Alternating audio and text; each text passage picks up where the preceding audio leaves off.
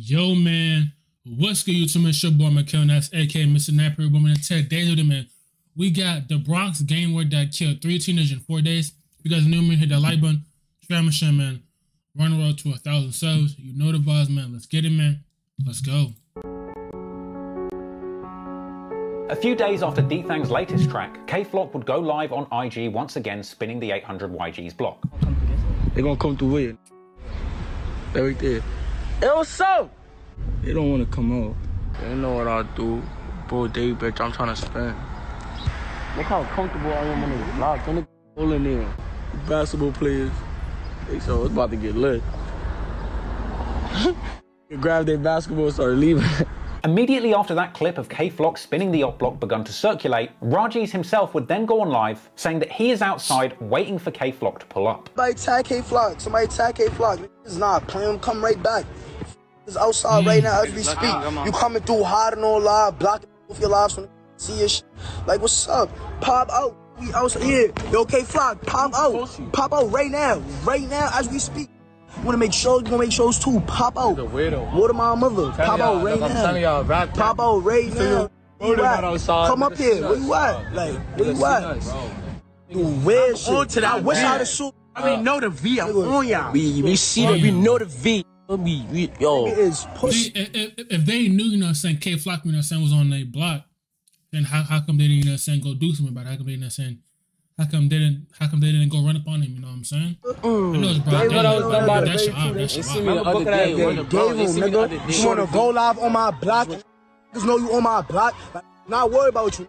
I'm not nobody live, nothing. Nigga, I'm getting nigga. high on my block. Respectfully. I see you. I see you. I Come do something. Say, you are. Fuck, a come little do something. I'm gonna blow his fucking. You a little kid, you are.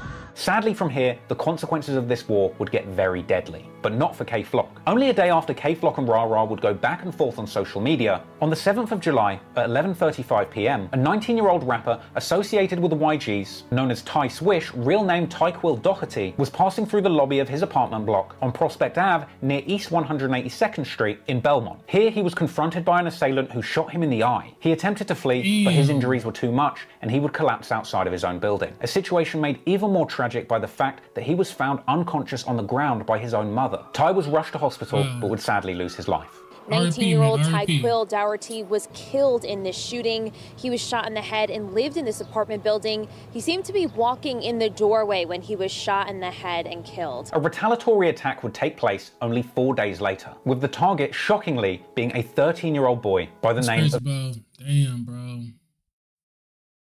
I should know about Jared, bro. It's at 13, bro. It's it's crazy. RP, know saying, to Ty, um, then just walk, walking to his home, you know what I'm saying? It is, I mean, you guys are in the streets, so, I mean, whatever happens, happen, but that is a sad way to go out, though. That is, that is a sad way, though. RP to him, man. of Jarian Elliott, known on the streets as J-Rip or J-Rip-K. He was a young affiliate of the Crips from Sevside, and according to the police, he was at the scene of Ty Swish's murder days before, as well as having recently been seen on live with other gang members. At around 3.15pm on July the 11th, 2021, a black sedan pulled up to 743 East 187th Street near Prospect Avenue, with a gunman hopping out the back seat and opening fire on two boys standing on the street, with CCTV surveillance footage capturing a man firing across the street in broad daylight. One of the targets of the shooting managed to flee, however J-Rip was struck once in the chest and once in the ankle. He would attempt to find safety crawling into the nearby Angels Cafe as panicked customers crowded around and tried to save his life. With the entire ordeal being caught on video and broadcast on the news, but once again is too shocking to show you on YouTube. He would sadly lose his life en route to the hospital, being pronounced dead on arrival. With this oh, situation being made all the more tragic by the fact that he would lose his life only weeks before his 14th birthday. Police marked multiple shell casings Yeah, so he's gonna turn 14 in a couple weeks and his life got shortened, man. You know say From the gun violence, know saying, from being in the streets. Um, I don't know if, if his parents were there to help him, to lead him in a better way. Maybe basketball, football, baseball, sure, you never know. Tennis, soccer, you know what I'm saying? To where he doesn't have to like lead into the streets maybe think that's like the streets is like the only way you know, saying like, like he feels good in, inside and, and outside and Angels Cafe as they gathered evidence throughout the evening. Surveillance video from across the street captured some of that chaos as an ambulance brought the young victim to the hospital where he would be pronounced dead and was identified as 13-year-old Jarion Elliott. Outside his building tonight, candles glow in the shape of his initials, J.E. Following his death, the news circulated an image supposedly showing Jay Rip holding a handgun. The news would report that despite being the young age of 13, he was already a member of the Rolling 80s Crips, with the New York Post reporting that he had already been arrested eight times despite only being 13. They would point out that he was specifically the intended target of the attack. And I've just got to say, it's truly shocking to think that anybody would get out of bed in the morning and go and hunt down a 13 year old with a pistol. Jay Rip was apparently a close friend of Kay Flock, with K later posting throwback clips of them apparently play fighting. No, you supposed to be my man. Nah, why you talk like that on bro? Facebook, bro? I bro, what I put no, on your, bro, what I put no. on your timeline. What? And what I put on your timeline and say, yo, Happy New Year, what, big bro. YGs like D-Thang would later go on to say that they're smoking J-Rip in songs and on social media. But even worse than... The thing is, I feel like what, what sucks is like, I feel like when you get in the streets at a young age, like the streets don't have an age, bro. They don't matter what age you are, bro. If you in the streets, if you rep that rival set that they beef with, I mean, a bullet, a bullet don't have an age on it, man. You can be 11, still in the game, you still in the streets. 12, 13, I mean, a bullet doesn't have a name on it, you know what I'm saying? RP. And that was Shah Geez, who apparently went to the site of this killing, completely destroying Jay's mural and recording the whole thing for social media. Uh, suck my dick, nigga. An unnamed 16 year old was later taken into custody for this crime, with it being rumoured to be a young YG's member by the name of Dolo G's. He had apparently been accompanied on this hit by Rajiz himself, but it would take the cops around a month to pick up Dolo for his involvement in the shooting. But unfortunately for Rajiz, the police wouldn't be able to catch up with him before his enemies could. It was said openly in the news that Rajiz was a member of the YGs and apparently present at the killing of J. Rip, and if the police knew this, then the ops certainly did too. And apparently, less than 10 mm-hmm. hours after the killing of J. Rip. On July the 11th, 2021, a 16-year-old Rajiz, real name Ramon Gil Medrano, was on the way to a recording studio. At around 11.35 p.m., he found himself sat in the back of a cab at East 187th Street and Valentine Avenue in Mount Hope. And it was here, sat in the back of a cab, when he is ambushed by two young men on scooters who open fire into the car, shooting him in the head and chest, leaving him dead instantly. But to make things even... Damn, they were riding on scooters? But but how do you know where Raw was? How, how, how they know where Rajiz was? Or like, like, like, like, did they have his location? Like, how, like, how they know where he was going to be at in that Uber at that exact time? Like, how they know? You know what I'm saying? How they know? More shocking, the cab driver's CCTV passenger camera was on at the time of the hit, capturing Raji's assassination in full HD with audio. A truly shocking clip, which once again is far too violent to show you here. Overnight, a boy murdered in the back of a taxi in the Bronx.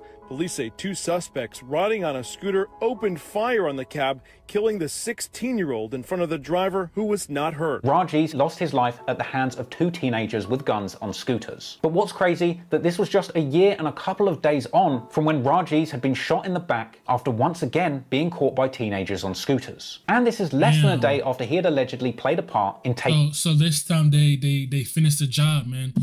They tried to get him one time, but this time they, they finish in Unfortunately, Rajiz lost his life, man. RIP, man. The life of a 13 year old boy. In less than a week, three youngsters involved in this feud would lose their lives to violence. For me, it's honestly hard to believe that anyone between the ages of 13 or 19 have any idea or appreciation of the dangerous lifestyle that they've been born into at this point. Even despite some of the bad things that the youngsters involved in this story and who were targeted in these killings had allegedly done, I honestly just have the utmost sympathy for them all because they never really had the proper guidance or choice to avoid such a terrible outcome at such a young age. No matter what they've done, they or their families just don't deserve to go through this this, and it's very hard to place the blame on a 13 year old who's been sucked and groomed into the gang lifestyle for what happened to him. From here, surviving members like D-Thang would mourn the loss of his friend Rajiz, with other members making long posts on social media mourning the loss too. Meanwhile, the ops like Kay Flock, who had just been beefing with Rajiz only days before his killing, would brag that they're smoking on Rah Rah, with others tagging Kay Flock's music specifically to taunt and mock Rajiz and the YGs. Others would point out the fact that Rajiz had apparently said on social media that he'd been smoking on J Rip after his death, with some suggesting that now Rajiz would get the opportunity to meet J Rip. G's would later rap in a leaked track called. So, so they got back for J Rip that quick.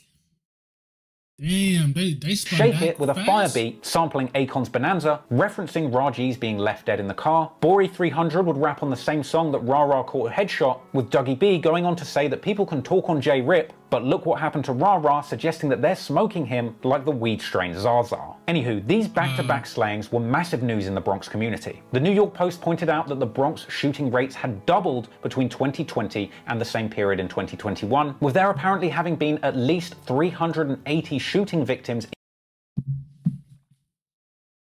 That's crazy. 318 shooting victims in the Bronx. At that, at that time during that's in the crazy. year up to That's that point. insane, they reported saying that these kids were antagonizing each other on social media and then carrying out revenge shootings in real life, with a police source saying that they simply can't keep these young kids in jail, citing an apparently soft catch and release they policy for juveniles, suggesting that youngsters that aren't of age yet are the perfect recruits to carry out older gang members' bidding. And it's details like this that genuinely just increase my personal sympathy for the young teenagers that are losing their lives as part of this war. Because they really are often just being groomed into the gang lifestyle by older criminals from their neighborhood at a young age when they really don't know any better. It's truly unfair that some of these communities in the poorer areas of the Bronx have young people growing up with a complete lack of positive role models, and as a result, through no fault of their own, they're being groomed and pressured into a violent gang lifestyle that they might not fully appreciate until it's too late. Fortunately, music is providing a route for some of these young men to build legitimate careers and get out of the cycle of violence once and for all. And so, in the month that followed the bloody Okay. summer in the Bronx in 2021, it would appear that Kay Flock would cash in massively off of the back of the anthems that he was creating about living this dangerous lifestyle, landing him the opportunity of a lifetime that sadly he seemingly would go on to. Oh man, that's gonna wrap the video, man. Y'all let me know, y'all let me know what y'all think. You know, I'm saying I appreciate the people that lost life in this video. I appreciate the raw runners. I appreciate the tie. I appreciate the J Rip. You know what I'm saying? Um, you know, the streets is not cool. The gun violence is not cool, man. We gotta stop it. Push the peace. You know what I'm saying? Um, but it's been about Mickal Naps. I'm out.